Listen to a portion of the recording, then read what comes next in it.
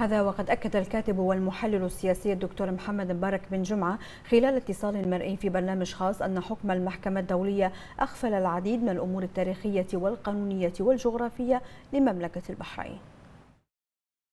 وهذا آه، آه، يؤكد على أن آه، هذا الحكم قد أغفل العديد من الأمور التاريخية القانونية الجغرافية المثبتة بالوثائق. ونحن جميعا نذكر آه تماما آه أن النظام القطري آه استخدم 82 آه، وثيقة مزورة في محاولة لممارسة عملية وضع اليد على اراض تابعة لمملكة البحرين وتحت سيادة مملكة البحرين حتى قبل صدور الحكم النهائي من محكمة العدل الدولية في لاهاي.